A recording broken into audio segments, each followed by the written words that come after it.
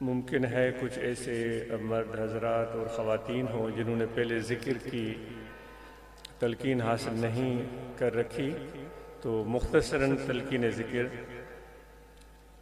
اور اس کو آپ ذکر قلبی کی اجازت سمجھ جو حضرات حاصل کرنا چاہتے ہوں، تو ان کے لیے اجازت ہے اور وہ ذکر شروع کر سکتے ہیں اور اس کی برکتیں حاصل کر سکتے ہیں۔ بائیں جانب پسلوں کی طرف، مرد ہو یا عورت، اس کا دل یہاں واقع ہے، جس کا ہر ایک کو پتہ ہے۔ اس دل کی طرف توجہ فرمائیں، کھڑے ہوئے، بیٹھے ہوئے، لیٹے ہوئے، سوئے ہوئے نیند میں یا جاگے ہوئے ہر حال میں ہر وقت کہ دل ذکر کر رہا ہے، اللہ اللہ اللہ اللہ اللہ اللہ اللہ۔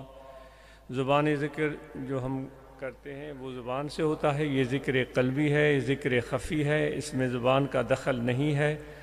اور یہ ذکر توجہ، خیال اور فکر سے ہوتا ہے، وہ توجہ اور خیال آپ کو اپنے دل کی طرف کرنا ہوگا اور دل کے خیالات کو یکسو کرنا ہوگا۔ ایک ہی خیال پر، ایک ہی نقطے پر، وہ ہے اللہ تعالیٰ کی یاد۔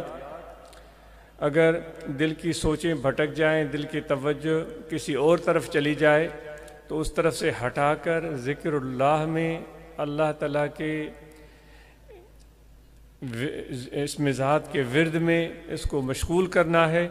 یہ مشق ہوگی، یہ تھوڑی سی محنت ہوگی، یہ تھوڑی سی کوشش ہوگی اور یہ دل کے کیفیت کو تبدیل کرنے کی کوشش ہوگی۔ انشاءاللہ اس میں کامیابی حاصل ہوگی اور یہ دل ذکر کرنا شروع کر دے گا۔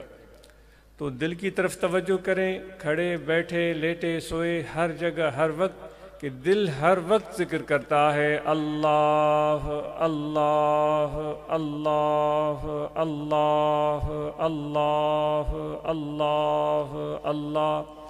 انشاءاللہ تھوڑی سی محنت، تھوڑی سی کوشش یہ دل کے زندہ ذاکر اور باخدا بننے کی وجہ بن جائے گی اور سب سے بڑی بات جو ہمیں یہاں میسر ہے وہ ہے مرشد کامل کی صحبت اور اس کی توجہ۔ جو کہ بنیاد ہے اور اساس ہے۔ بغیر مرشد کامل کے توجہ، محبت اور صحبت کے ذکر کا پورا فائدہ حاصل کرنا ممکن نہیں ہے۔ سلسلہ یا نقش بندی میں تو بنیاد